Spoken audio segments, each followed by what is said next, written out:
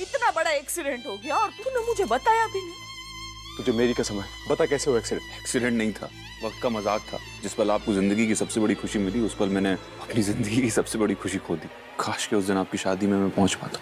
ये मेरे हाथ में होता कि मैं तेरे सारे दर्द खुद ले लेता और अपनी सारी खुशियाँ तुझे दे देता। ये दर्द भी तो आप ही ने दिया है। मिनी कहाँ है? उसको पता है सब? मिनी?